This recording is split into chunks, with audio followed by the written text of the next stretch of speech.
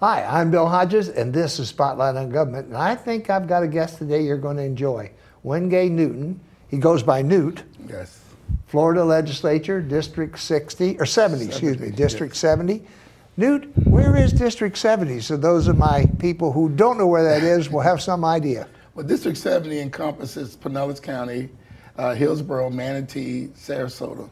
Uh, it's it goes from Round Lake in downtown St. Pete uh, over 275 Skyway Bridge, up about 10 minutes up uh, 75, and over the horizon is Ruskin. It comes back down through Ruskin, through Rubonia, through Palmetto, through Bradenton, which is Manatee County, and then all the way down to uh, Fruitville Road between 301 and 41 uh, to Newtown area. And that's a nice contiguous district. And if the fish can vote, I'll be here forever. It reminds me of the, there was a 5K run through one of the districts Right. uh, not too long ago, and it, it took like six hours to get, because they had to go down telephone lines and all sorts of things to get to there. Well, when I was campaigning, I did about 10,000 miles just driving throughout the district. I believe it. It was it's that big. It's got to be difficult to campaign in a district that that's so far flung because of different media in those areas. Yes, but I was, you know, being on St. Pete City Council for eight years didn't make it that hard. I was probably the only uh, candidate in my race that had a ballot name recognition in 65% of the House seat because I have ran. Yes, I have ran so far. So if people knew me, and I always tell them, and all you do, Google, you know, www.google.com, and you know, don't believe these politicians, believe your lying eyes, and you'll see who's been fighting and advocating for you, and that it done, done well for me. How long have you been now in the House? I've been in the House. This is my second session. I'm a freshman. Uh, part of the largest fresh, the second largest freshman class in the history of the legislature. It was 46 of us. What, now you said you were on the city council in, Ta- in St. Petersburg. What made you decide to join one of the most despised classes of people in the world, politician? Oh wow. Um, well, it's a pleasure to serve. I, I, I enjoy my job. I enjoy helping people.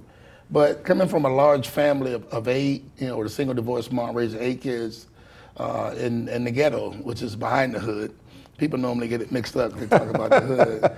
I tell them the hood has air conditioning, windows, and uh, nice houses. The ghetto Not has so much in the box, ghetto. box fans, wood frame houses, dirt front yard, dirt backyard. But coming up from those means, we always looked out That's the neighborhood I lived in to Detroit, by the way. We look, we looked out for our neighbors, so it was always a, a, a inkling in, in me to serve. The political side of it, uh, after doing uh, 18 years with Xerox Corporation, working for them for 18 years, I got involved with the uh, the neighborhood association because the block I lived on and was raising four kids had not one, not two, but three crack houses on it. Oh, no. Right. And then when we go to the neighborhood meetings, uh, the neighborhood president will tell you, well, I tell people don't drive down Fourth Avenue, which is a good plan. Except I was raising a family on Fourth Avenue and I own a home on Fourth Avenue. And it wasn't a mobile home, so I couldn't pick it up and move it to another area that was drug free. So I had two options, and it was just do something or do nothing. And the other one really wasn't an option. So what happens more times than not, you go to these homeowner association meetings and you stand up and you're vocal, and you become president. 'Cause they'll say, "You do it." Understand that. Yes, I've been there, done that. Right. But I never was sucked into politics. Well, that was that was uh, I, I- guess the prelude, and you have to understand something about politics. Politics is a process. It's a process that determines whom gets what, where, when, and how much. So everything we do in life is politics, and I can tell you I hate it, but it's a necessary evil. You know, I, I joke about it. I really do. But I, I envy those people who do care enough Yes. To give up. And you do. You give up just about everything. Yes. You can't go out for dinner. You can't take your kids to the park. There's nothing you can do that somebody's not going to walk up to you and say, you know, I just want a minute of your time. Well, it's a blessing and a curse. I mean, I love my wife, not so much, but I, I love it. I remember when we first got elected to St. Pete City Council, we went into uh, Wally World, which is Walmart, my, my favorite place. That's where all my constituents are. I go into Walmart and we walk in about 3 o'clock on a Saturday. And um, my wife and I, we're all giddy, just having a good time. And up and down every aisle, people are stopping us saying, I don't mean to bother you, but let me ask you something. and my wife's standing there, she's a good trooper, just smiling. And I'm handing out cards, trying to talk to people up and down every aisle and trying to shop. And we left that Walmart about seven o'clock at night. It's four hours we're in the store. And we get in the car, and my wife, she's a good trooper, she smiled and she closed the door. She says, I'm never going to the store. so now we pull up in front of Wally World, she will not get out. She won't get out. So she says, no, because if I get out, you'll stay forever. So you go in, I'll be waiting for you out here. So, but I, but I told Read her, the I- book, huh? well, I told her, I said, these, these the people, they, they, it, it's local governments where the rubber meets the road, and the people have concerns. They're going to see you in churches, as you stated. They're going to see you in the grocery stores. They're going to see you in the mall, around the neighborhood, and in the community. So we're the closest people to the uh, to the constituency, and they have concerns. So, and, and obviously, some of them, I mean, more times than not, are not going to come to your door. They're not going to go to your office, but they know who you are. So when they see you, they're hopeful that you will you know, lend an ear to try to give them a solution. To their problem. Supposedly your job is part-time. Yes, it is. The pay is part-time. Well, I tell everybody it's part time this, part time that, part time this, you know. But um, we we uh, have two offices. We cover um, um, downtown St. Pete. We have an office, and we also have an office in uh, Manatee County because we cover that part of the area also. I have three staff. I have uh, Charles uh, Martin III is my uh, district secretary for Manatee County, Manatee Hillsborough um, Manatee Hillsborough, Sarasota, um, and then uh, Grace um, Mosley uh, Martinez is my uh, district secretary in St. Pete, and I also have a legislative assistant who travels with me back and forth to Tallahassee and a lot of my events, and his name is Cyrus Calhoun III. So we have three staff that help handle it because it's a population of 151,000 constituents. So. That's a lot of people lot of for people. four people to handle. Yeah, well, uh, council only had thirty thousand, but it went from, it, it blew up overnight. But I mean, like I said, it's a pleasure to serve and be able to help people out. This is a part-time job and the, and the income is part-time from it. Most definitely part time. Although, although a lot of people live on that income every Yes. year, but you've got a lot of expenses and things that go along with it. What What do you do in the real world to support your family and yourself? I married a really, really rich woman. No, I'm just kidding. That was a smart thing. Well, we um, uh, Every young man ought to get that piece of yeah. Well, my day job, I own a photography studio. Oh, really? Yeah, I've What's the name of the studio? Newton's Photography Studio. yeah. Okay. And we've been doing photography a long Named it time. after Newt Newton, or Named after, after myself. After Newton, yourself, all right. But we've been doing photography for a long time. I mean, I started out doing Polaroids and even shooting on the 110 camera. So we've been doing it a long time. And um, it enabled me, because I believe to do the job right, you have to be self-employed or um, retired. Because it's very demanding of your time. I mean, today, we're in the middle of the day. We want to interview in the middle of the day to be able to come and communicate with you and talk to constituency. Normally, you can't say, hey, boss, can I get like the afternoon off and go over and do an interview? Doesn't work that way. So that's just my opinion. it's kind of refreshing to have somebody from the legislature here with me that's not a lawyer. Lawyers are good. My wife reminds me of it constantly. She just she wears her shirt around and says, you know, my lawyer can beat your lawyer, and and uh, she knows my lawyer's in jail, so you know. no, but um, it's I, I- think it's a nat it's a it's a mixture. I would say it's majority attorneys, but it's a lot of people there that come from average people that that, that served in their communities, served on their county commissions, served in their uh, their city councils, and, and they just care about their community. So they have some good ideas also. It's not all lawyers, but it's quite a few of them. Let's talk about local politics. Yes. And they say all politics is local, Yes. sooner or later. What can we do, especially my, my big cause celebrate is kids, kids and veterans. Right. And I happen to be a veteran, and they say I'm not coming out of my childhood yet, or I'm going into my second one. So maybe both. Right. But, but what can we do, especially with kids? What can the legislature do to help these? I watch where we've cut down the Medicaid funding and kids. One of the legislature people who was sitting right here where you are Right. told me probably eight, nine years ago that in foster care, the kids coming out of it by the time they reach 18 are going to have been sexually abused or have a police record. Yes. And that's scary because Well, those kids are the ones we're going to have to deal with as adults. Well, the children are our future, and if we don't invest in them early, we will pay the we will pay eventually. I mean, it costs more to uh, keep a kid locked up and confined than it does to put them through a four-year university.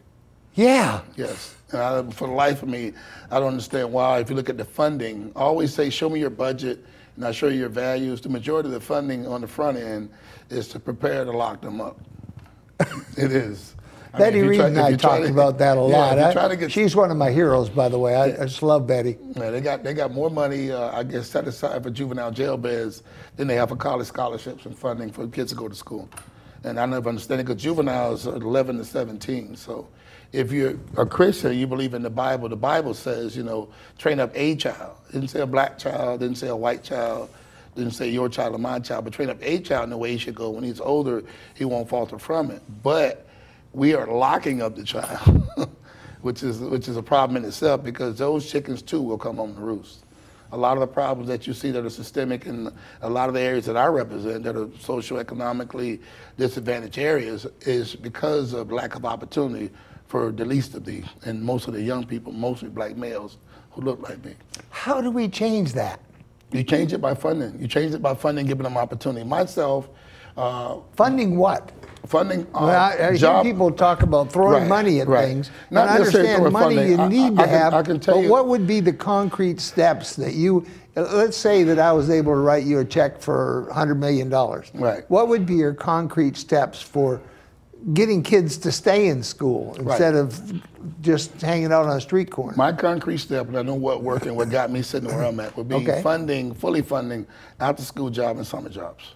Okay, like we used to have. Correct. I mean, like I said, you looking at a person that uh, I'm a product of it. My mom, a single divorced mom, raised eight kids of government subsidies. You know, food stamps, welfare, government cheese, free lunch, reduced lunch, summer jobs, after school jobs. You're looking at it. But everything I'm not made me everything that I am, and I took full advantage of every opportunity to help realize my full potential because those programs were a hand up, not a handout. So now that I've broken those chains, my kids can't receive those programs. So they do work. Because, but for those programs, I wouldn't be sitting here. Because if you look at the stat, single divorced female raising eight kids out government subsidy in the ghetto, uh, I'm supposed to be dead. 70%. I'm supposed to be dead or in jail, not sitting here doing this. And like I said, but for those opportunities, and right now those opportunities are few and far between. In the city of St. Pete, I spent eight years on the city council, and I talk about this often. We have a thousand kids, juveniles, that want to work. They don't want to steal cars. They don't want to sell crack. They don't want to break in house. They don't want to break the law. They're in school and they want to work. However, the funding for jobs is for 160 kids. 160. 160. So the harvest is plentiful, but the labors are few. Then between June 1st and August 31st, we arrest between six to 800 juveniles. Six to 800. Remember, you got 1,000 want to work. You have money for jobs for 160 of them. But between June 1st and August 31st, we arrest between six to 800. The last year I was on council, I think it was 775. Okay, those 775 need not apply for the 40 after school jobs that I have, which is a joke because we arrest between 150 to 200 kids a month in, in St. Petersburg. So the 40 jobs are a joke. But the kids now that got the 775 that got records, you can't apply because now you got a background. And this goes around and around and around. And what's so damning, you know, the last year I was on council, I just found out that, you know, I fought and got funding in the budget for our Styles program through the Urban League and to increase the number of our after-school jobs. Because that was that's that's the real winner. And I'll tell you why in a second. But the after-school jobs was supposed to go from 40 to 140, and they're still at 40 to this day. So the money, council and never and the mayor never put the money where it's supposed to go. And because of that, we locked up a lot more kids that ruined their lives. And how much does it cost to lock them up? A lot. How much does it on- on cost just to arrest and I- I- process I, them? can show you arrest and process. The process of a juvenile is about eighty-six dollars. Okay, and if you add in the cost of an officer getting out of the field, driving them out to the Pinellas County Jail for Children. I know they call it a detention center, but it's a jail. If you look at Webster. Webster say if you if I take you, control your movement, lock you up, take your fingerprints, and put you in a cage, that's the jail. That's not me. That's Webster. So when they take them out to the Pinellas County Jail for Children, it's eighty-six dollars to process them. The cost is around one twenty-five round trip for an officer to be out of the field to transfer them out there. So you take that, it's about two hundred eleven dollars, right? Times, um, I think one year we arrested. Uh, the last year was 1,970 juveniles that year. That's almost a half a million dollars we spend just locking them up, giving them permanent records, not opportunities. So again, show me your budget, I'll show you your values. The money is put in there, but the more damning part to what we do is we have the best trained, best equipped, best qualified police force. When I got on council in, in, in 2008, the budget was $83 million. When I left in 16, the budget was $93 million. Through a recession, down through the valley and up on the other side. Now the budget, I think, is north of $104 million. I said that to say this. Our police department spend 30 to 40% of their time from the communication center down arresting juveniles. That is not a conducive use of a $104 million asset.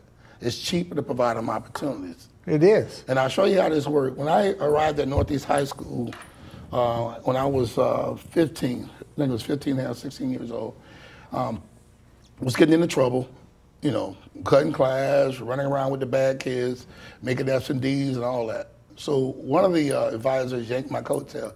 He said, Newton, if you stop running around these bad guys and, and get better grades, we can get you a job. And I wanted to work. I wanted to be able to have some money because everything costs money. Everything costs money. Everything costs money. We live in a commercial world.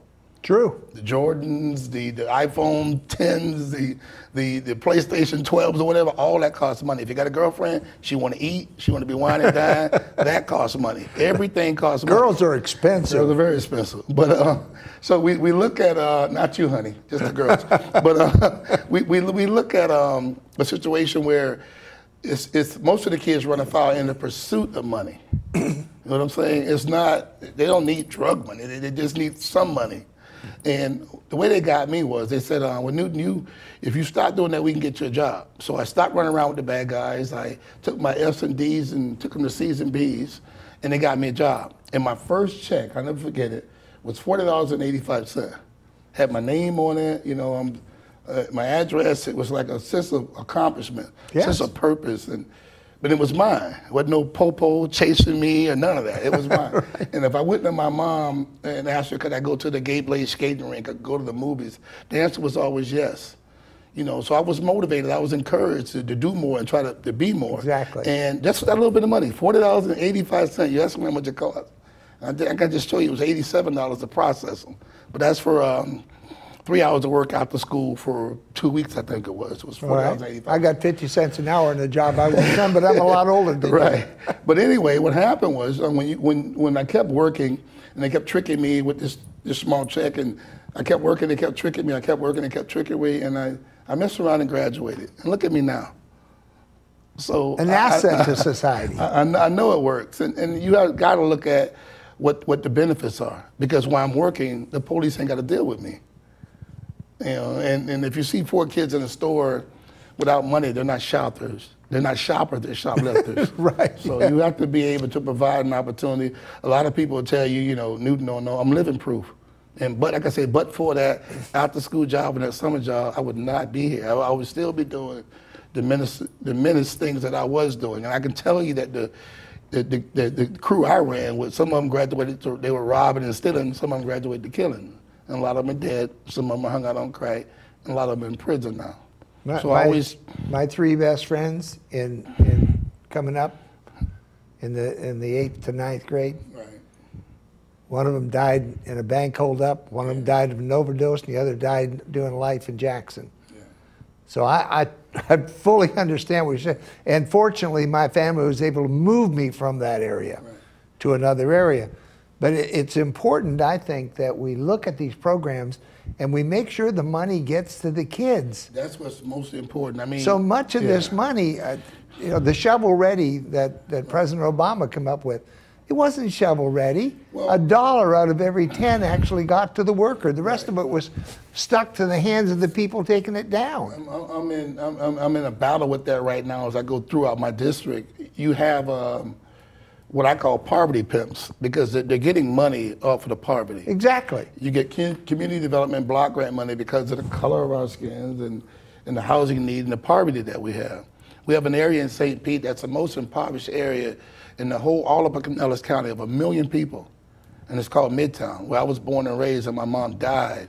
And I could have saved them a lot of money on a study because I knew it was poverty. I mean, Right. when they had a recession, what, what, what was that? We was already, we was already robbing Peter to pay Peter. It, it amazes me how these university professors do all these studies. Right. I mean, they use the always- students to do it. Right. You can just walk down there, pick one kid, and say, "Hey, is there poverty?" Are you Look poor? I'm. Yeah, I'm poor. But they came out with a study that showed it was the most impoverished area in the whole county. And then we subsequently got together and, and formed what they call a community redevelopment area. And that area is like a, a square that, it, when the money flows into it, a percentage of it, you set a low watermark on the, on the real estate value. So anything above that low watermark is put into an account to be used on projects, infrastructure, and uh, um, other projects in that area to help alleviate poverty. Well, the impoverished area got about $465,000 the first round of, of uh, taxing.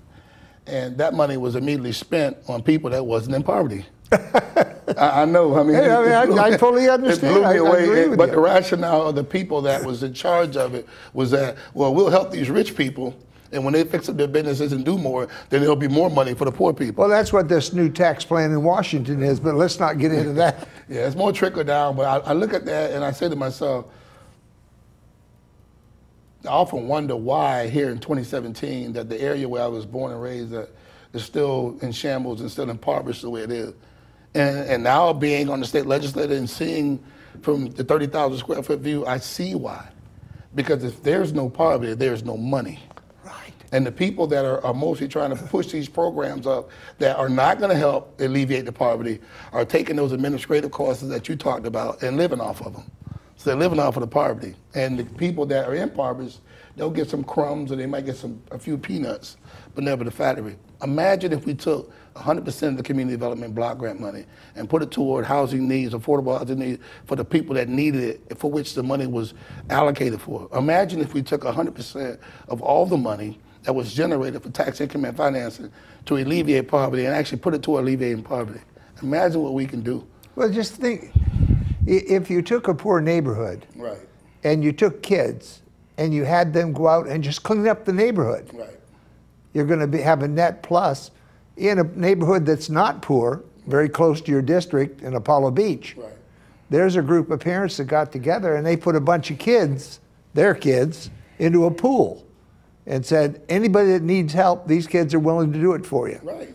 And you donate what you want and they pay the kids a little bit. Yeah. Nobody gets any money off it except for the kids. And that's, that's, that's what we did. And, and we- the kids learn to work. Right. And, and I can tell you, all of, no one wakes up and says, I'm going to go steal a car and I'm going to sell some crack, I'm going to rob somebody. No old kid worked up with that.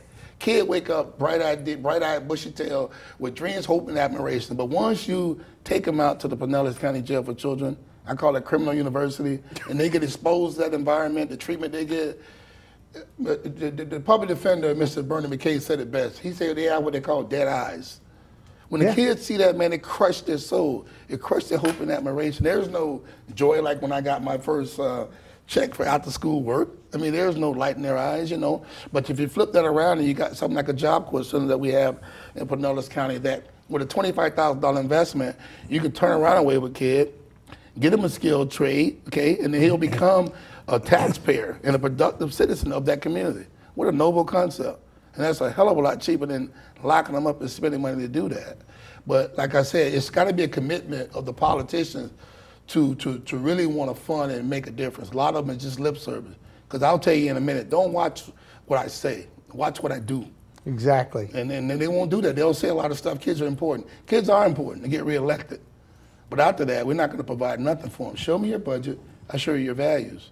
And you look at the amount of kids that we lock up and ruin the opportunities. I mean, on, on misdemeanor type stuff.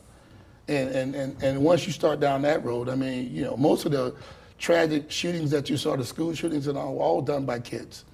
In my opinion, I think kids are the most dangerous. A kid with no hope and admiration is one of the most dangerous things that's out. Oh, Because they, they, have, they have no moral compass, they have no value system. When I lived in that neighborhood in. Detroit, my folks were very, very poor Yeah. at the time. We'd come from Canada, moved over here as immigrants, and Dad bought the best house he could and where he was at. And we didn't have anything. Right. And my buddies had nothing. And, you know, if I saw a bicycle over there and I had no hope of ever getting a bicycle, I'd just go ride that one. Right. And I, so I, I really understand Yeah. this. What I'm looking for is to break that cycle, to Right. give these kids actual hope. Right.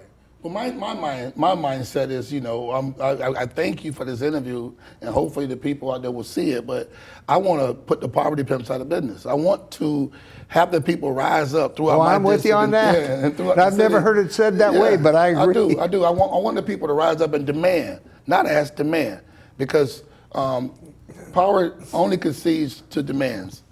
That's all the power ever conceded to. So I to demand that the funding that are, is coming there for those purposes, 100% be used for those purposes. You often hear my colleagues talk about the Sadowski uh, Trust Fund uh, up in Tallahassee for affordable housing. Shouldn't raid the fund, should put more money toward it. They're right. But the same ones hollering fully funded Sadowski Trust Fund, the same local politicians that are saying put more money and use that money for intended purposes, they got funds right here in their town that they won't use 100% of. You know what I'm saying? So that makes them a hypocrite by definition. Representative Newton, I promise to give you uh, at least one to two minutes to talk directly to your constituents. And you've done that all the way, and I'm so proud of you. I think you've done a great job. But let's take that one or two minutes just to talk directly to them about your hopes, dreams, what you'd like to see. And maybe thank, thank the ones that put you in office and Right. tell the other ones you're still going to work for them. Right. Well, um, I'm representing Wengay Newton Newton. I um, serve District 70. I serve on the pre-K through 12 uh, appropriations. I serve on the Health Quality Committee. I serve on Transportation Infrastructure. And I serve on the Joint Committee for Collective Bargaining. And I think I missed one. Let me see, pre-K, Health Quality, Transportation Infrastructure, um, and um, the Joint Committee for uh, Collective Bargaining. In my first session, we were able to pass a bill for affordable housing. Me and myself, well, me and Senator Brandes was able to pass a bill for um, affordable housing task force. We brought back $365,000 for happy workers in, in St. Pete Early Learning Center, over a million dollars for uh, Mount Zion Early Learning Pilot Program. We brought back a million five for a water project in Rubonia. We also brought back uh, over 207,000 for the, child, the Sarasota YMCA swim project. It is my goal to advocate for people throughout this entire district. And I want to uh, hear from you. I mean, you can reach me at 727-893 uh, 24, I'm sorry, 892-2468. You can also contact my staff in Manatee or Sarasota. If you have events that you think are of importance, contact me. If I can't go, we have three staff that can attend. So you can share your, your information with them because they have access to me. I'm here to serve the constituency uh, in, the, in that district. Um, I did very well in my election. I won 75% of the vote, or 76% of the vote. But for the 24% of the people who didn't vote for me, I'm here to serve you too. I, I enjoy what I do. I've been at this, is, this will be my 10th year in my second session. It's a pleasure to serve. And if I can help or do anything, reach out to me and let me know. Well, if you're working on this with children, you're doing a very good job because Yes. that's that's so important to get these neighborhoods cleaned up, Right. get them safe. I mean, I remember up in Dayton, Ohio, which is not one of the hotbeds of bad things happening. It's a fairly good Right. Midwestern city. Kids coming into the club and talking about having to sleep under the bed rather than on top of it because being shot at in their neighborhoods. And kids just don't grow up well that way. It's a problem. And people like yourself who live the problem, Right. who lived in the neighborhood, are the best ones to give us solutions for those things. And I really appreciate your coming on the show. Mm-hmm. Yes, and by the way, uh, while you're up in the legislature, the show could use a little bit of money. The station could. So any help you can give us on budgeting, we certainly appreciate Well, that. We, we look forward to being supportive. You need more public access. I mean, I'm not knocking the mainstream media, but you need to get the word out. The people need to know. Hosea 4.5 says, My people are destroyed. Destroyed because they lack knowledge. So, knowledge is the key, knowledge is power. It, it's so important. And this show, as you've well watched, we're not in the business of arguing with people and trying to decide whether or not what they are saying is true or not true. We believe you're smart enough to sit and listen to people and decide for yourself whether or not what a man is saying makes sense. And for me, that's an important facet. Correct. Commercial TV's got to pay the bills. That's their purpose. We've got to pay the bills. We've got to look for someone to help us on it. Right. So I really appreciate your being here. Yes, sir. I'm Bill Hodges. This is Spotlight on Government. Representative Newton, thank you for being with Thanks us. for having me, sir. Really appreciate that. You're unique, you're special, you're great. Tell yourself so often because you are, you know. And we'll see you on the next Spotlight on Government. And again, Representative, thanks for being with us. Thanks for having me.